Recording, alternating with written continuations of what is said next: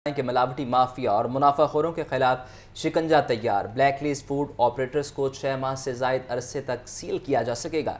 मिलावट माफिया की सजा जजा के लिए समाती अदालत का क्याम फाल किया जाएगा। आटा, चीनी, घी, दूध और दीगर मिलावट माफिया के खिलाफ कानून भी तैयार कर लिया गया। मिलावट माफिया, तरामीमी कानून की दस्तावेजा लाहौर न्यूज़ ने हासिल कर ली हैं। मिलावटी माफिया और मुनाफाखोरों के खिलाफ शिकंजा तैयार कर लिया गया है। ब्लैक लिस्ट फ़ूड ऑपरेटर्स को छः माह से जायद अरसा तक सील किया जा सकेगा। मिलावट माफिया के सजा जजा के समाती अदालत का क्याम फ़ाल किया जाएगा। आटा चीनी घी दूध और दीगर मिलावट माफिया के खिलाफ कानून भी तैयार इसी पर बात कर लेते हैं चीफ रिपोर्टर इमरान अकबर से। जी इमरान बताइए इस बारे।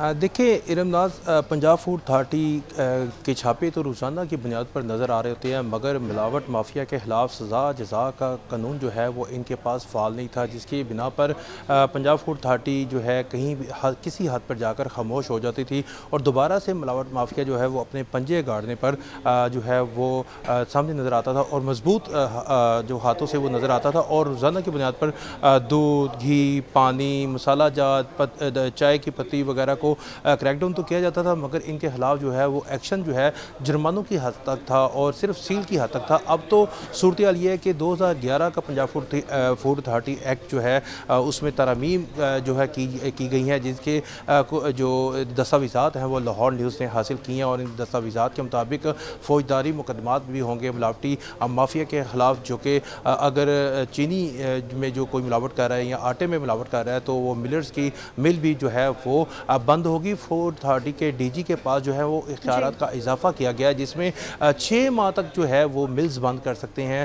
फ़ूड स्टेक होल्डर्स के बिज़नेस जो हैं फ़ूड ऑपरेटर्स के जो बिज़नेस हैं उसको जो है वो बंद कर सकते हैं। और उसके साथ साथ तमाम तर ये जो कानून है ये इसी वजह से बनाया कि सज़ा जजा का तयन फौरी तौर पर किया जाए। अगर मिलावट माफिया को पकड़ा गया है तो फौरी तौर पर उसके खिलाफ एक्शन लिया जाए। समाती अदालतों में फौरी तौर पर जो है उसकी सज़ा जजा के मतलब जो है कानून जो है वो सामने लाए गए हैं जिसके लिए जैसे ही कोई समात होगी, अगर जो पिक्टोरियल एविडेंस है वो उसके ख़िलाफ़ जा रहा होगा मिलावट का जो एक जो है टेस्ट जो है वो उसके ख़िलाफ़ जा रहा होगा तो उसके खिलाफ जो है फौरी तौर पर जो है एक्शन लिया जाएगा। मसनू जो एज़ा जो है जो मिलावटी करते हैं मिलावट करते हैं, इसके हवाले से जो है तमाम मंडियों में तमाम जगहों पर जो है इस एक्ट को जो है वो लाहौर में सुबह भर में जो है इसको नाफिजुल किया जा रहा है, जिसमें इसको फॉल किया जाएगा, पंजाब फ़ूड अथॉरिटी एक्ट 2011 के मुताबिक और इसमें बाकायदा तौर पर जो तरमीम की गई हैं बड़ी बहुत ज़्यादा तरमीम है, जिसमें ये ज़ीरो एक्ट बनाया गया है, ज़ीरो इनिशियल जो है स्टेज पर जो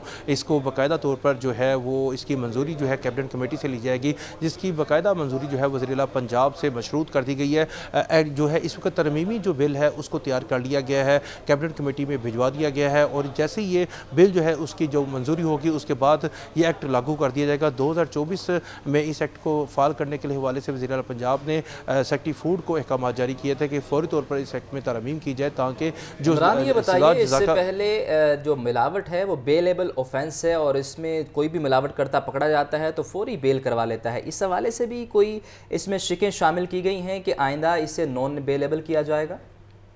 देखिए यही तो मामला है कि फ़ौर बेल एबल करवा लिया जाता है। उसामा आपने बड़ा अच्छा सवाल किया है कि ये जो बेल एबल करवाने वाला मामला था इसी को ख़त्म किया गया है। समाती अदालतें जो हैं फ़ूड अथार्टी की अपनी मुकर होगी। सजा जजा का तयन जो है खबरों के सिलसिले को आगे बढ़ाएँ और आपको बताएँ कि मखसूस नशस्तों के फैसले पर अमल दरामद ना होने के खिलाफ केस। सुप्रीम कोर्ट के फैसले पर हर सूरत अमल दरामद होना है। क्या तहरीक इंसाफ ने कोई बरह रास्त दरख्वास्त दायर की? हमारा किसी सियासी जमात से ताल्लुक़ नहीं। हमने आइन और कानून के मुताबिक फैसला करना है। जस्टिस साहिल कामरान शेख के रिमार्क्स अदालत ने 11 सितंबर को अटॉर्नी जनरल को तलब कर लिया। मखसूस नशस्तों के हवाले से फैसले पर अमल दरामद ना होने के खिलाफ केस के बारे आपको बताएँ तो सुप्रीम कोर्ट के फैसले पर हर सूरत अमल दरामद होना है। इससे पर बात कर लेते हैं मोहम्मद अशफाक से। जी अशफाक बताइए।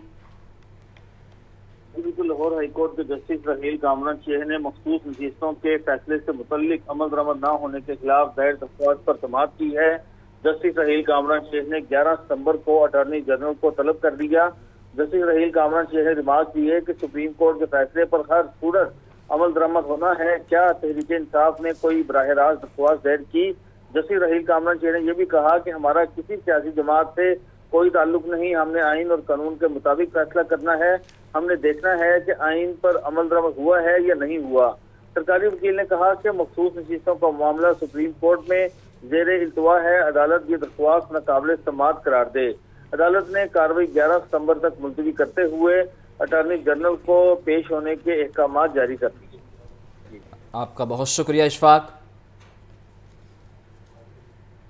तो आपको बताएँ कि महकमा कोऑपरेटिव पंजाब में खिलाफ मेरिट अहम अहदों पर तैनातियों का मामला है। चार अहम अफसरान अरसे दराज से पंजाब के पुरकशिश अहदों पर काबिज हैं। Joint registrar Mohammad Iqbal, deputy registrar Sajid Hussain Lahore की अहम सीटों पर तैनात हैं। Deputy registrar admin Jalil Qureshi दस बरसों से लाहौर में तैनात हैं। तो आपको बता रहे हैं कि ये हकाइक मंजर यहाँ पर आए हैं। महकमा कोऑपरेटिव पंजाब से मुताबिक और चार अहम अफसरान अरसे दराज से पंजाब के पुरकशिश अहदों पर काबिज हैं। तफसीत के लिए बात करते हैं चीफ रिपोर्टर इमरान अकबर से। इमरान बताइए क्या मामला है ये?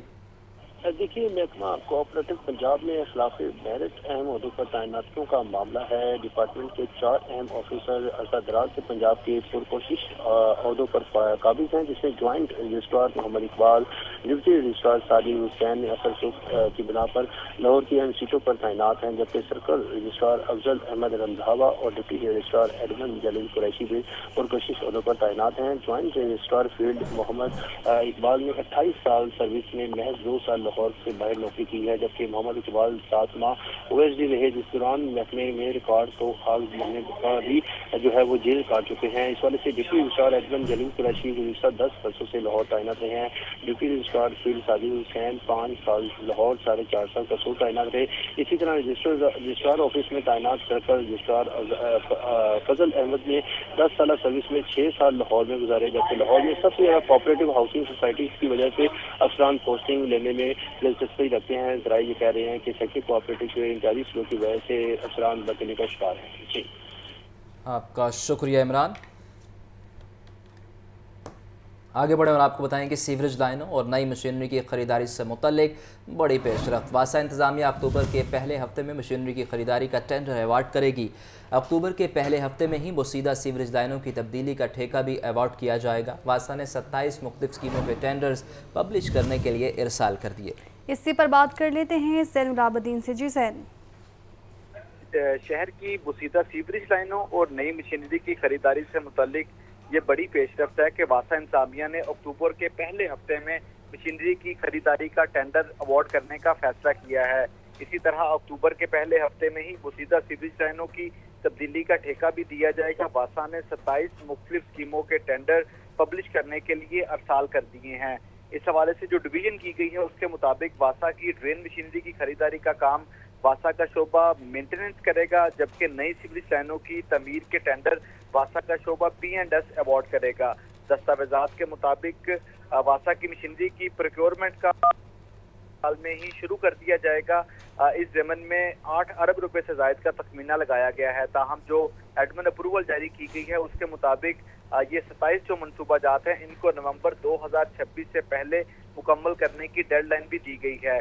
जराये की जानब से ये बताया गया है कि बादशाह के गंजबख्श टाउन के लिए उनतीस करोड़ रुपए जबकि राबी टाउन के लिए उनतालीस करोड़ रुपए की लागत से नई मशीनरी खरीदी जाएगी जिससे सीवरेज लाइनों की सफ़ाई का काम किया जाएगा। इसी तरह शालीमार टाउन के लिए उनतीस करोड़ अज़ीज़ भट्टी बागा टाउन के लिए उनतीस करोड़ अठहत्तर लाख और गुलबर्ग टाउन के लिए बीस करोड़ अठासी लाख रुपए की लागत से मशीनरी की खरीदारी की जाएगी। इसी तरह महकमा हाउसिंग की तरफ़ से रामा इकबाल टाउन के लिए उनतीस करोड़ छियानवे लाख रुपए की मशीनरी आपका शुक्रिया जैन। और पंजाब में इंसदाद पोलियो मुहिम का आज से आगाज़। इंसदाद पोलियो टीमें कतरे पिलाने में मसरूफ़ हैं। लाहौर में 20 लाख से ज़्यादा बच्चों को इंसदाद पोलियो कतरे पिलाए जाएँगे। इंसदाद पोलियो मुहिम पंजाब के पंद्रह अजला में सात रोज़ तक जारी रहेगी। तो आपको बता रहे हैं, पोलियो मुहिम का आज से आगाज़ हो चुका है और इंसदाद पोलियो टीमें कतरे पिलाने में मसरूफ़ हैं। लाहौर में 20 लाख से ज़्यादा बच्चों को इंसदाद पोलियो कतरे पिलाए जाएँगे। तफसीत के लिए बात करते हैं सामिया सईद से, जो इस वक्त कला गुजर सिंह में मौजूद हैं। जी बताइए सामिया। जी बिल्कुल, पंजाब में इस्ताद पोलियो मुहिम का आगाज़ हो चुका है। पोलियो टीमें जो हैं, वो घर घर जाके बच्चों को कतरे पिलाने में मसरूफ दिखाई दे रही हैं और पंद्रह अजला में जो है, वो पोलियो मुहिम का आगाज़ किया गया है। अगर मैं बात करूँ तो इसमें फैसलाबाद, मुल्तान और दीगर अजला जो हैं, लाहौर समेत वो शामिल हैं। इसी तरह जो है, वो पोलियो टीमें आजकल मसरूफ दिखाई दे रही हैं। बच्चों को जो है, वो पोलियो के कतरे पिलाए जा रहे हैं। साथ ही साथ आगाही भी फैलाई जा रही है। पोलियो मुहिम में लाहौर से जो है, वो पंद्रह लाख बच्चों को कतरे पिलाए जाएँगे। मेरे साथ यहाँ पर अमजद साहब भी मौजूद है, इनसे बात करते हैं, जो यू सी एम ओ हैं। जी सर, बताइएगा, क्या प्लान तश्कील दिया गया है? हमारा जो लाहौर का प्लान है, इस टाइम हम लोग खड़े हुए हैं दाता टाउन की यूनियन काउंसिल जो सेवेंटी सेवन में। हमारा जो लाहौर का टारगेट है वो बीस लाख से जायद बच्चे हैं, जो पैदाइश से लेकर पाँच साल तक के बच्चों को हमने पोलियो के कतरे पिलाने। इसमें हमारी जो टीम्स हैं वो घर घर जाके कतरे भी पिला रही हैं और कुछ टीम हमारी ऐसी हैं जो रेलवे स्टेशन पर कतरे पिला रही हैं, कोई बस अड्डों पर कतरे पिला रही हैं और इसको जो मॉनिटर कर रहे हैं डी साहब हैं और उसी तरह हमारे सी हेल्थ साहब हैं डी साहब हैं, डिप्टी साहब हैं। तो हमारी कोशिश यही है और अवामुन्ना से भी हमारी यही अपील है कि आपके दरवाजे पर जब पोलियो टीम आती है तो काइंडली उनके साथ कॉपरेट करें अपने बच्चों को पोलियो के दो कतरे पिलाएँ और उम्र भर की माजूरी से बचाएँ। जी बिल्कुल इनकी जानब से कहा जा रहा है कि अपने बच्चों को पोलियो के दो कतरे पिलाएँ और उम्र भर की माजूरी से बचाएँ। यहाँ पर ये देखा जा रहा है कि पोलियो की जो टीमें हैं वो भी जगह जगह जो हैं वो घर जा रही हैं और बच्चों को जो है वो पोलियो पिलाती हुई दिखाई दे रही हैं और इनकी जानब से ये कहा जा रहा था कि वालदेन भी जो है वो टीमों के साथ पूरी तरह कॉपरेट करें और ये पोलियो मुहिम जो है ये सात रोज तक जारी रहेगी। जी। आपका शुक्रिया साम्या। मौसम बरसात के साथ ही डेंगू के बाढ़ जारी। 24 घंटों में पंजाब में 17 केसेस रिपोर्ट हुए हैं। एक हफ़्ते में 116 रमा साल, अब तक चार केसेस रिपोर्ट हुए हैं। रावलपिंडी से तेरह, लाहौर से तीन और खानेवाल से एक केस रिपोर्ट हुआ है। तफसीत मोहम्मद बिलाल से जानते हैं। बिलाल, बताइए।